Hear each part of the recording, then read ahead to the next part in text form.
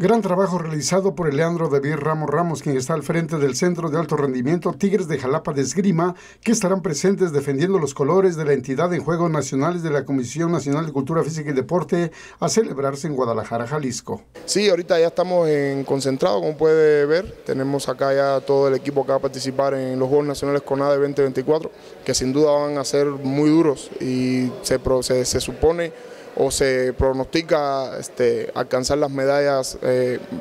la mayor cantidad de medallas que se pueda. Estos Juegos Nacionales, Juegos Nacionales con ADE vamos a asistir con 14 atletas, incluyendo a los dos representantes del Club Guepardo de Minatitlán, que ya están entrenando acá con nosotros, y yo creo que la mayoría van a estar en el podio labor importante de esta disciplina que realiza alternadamente en la otra sede que se encuentra en el puerto de Veracruz, donde Leandro David Ramos está al frente de esa ciudad, al mando de Luis Leonardo Ortega Montes, quien dijo. Mm, tenemos grandes expectativas, aspiramos a que nos llevemos bastantes medallas de forma individual, tanto por equipos también. Eh, esperamos llevarnos al menos, no menos de nueve medallas individuales y seis u ocho por equipos también. Sí, ha sido pues mucho trabajo en, a lo largo de estos años, eh, pues es a lo que nos dedicamos, es lo que queremos trabajar, y queremos fomentar el deporte en los chicos, que sea de alto rendimiento para que puedan vean que se puede obtener medallas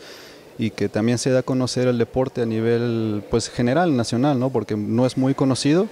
y que vean que también aquí en Veracruz tenemos grandes atletas. Después de la justa de CONADE, la representación de Tigres participará en un campeonato nacional que avala la Federación Mexicana y después estarán en el Campeonato Panamericano de la disciplina. Para RTV Más Deportes en cámara, Jorge Rodríguez informó Carlos Serrano Bazán.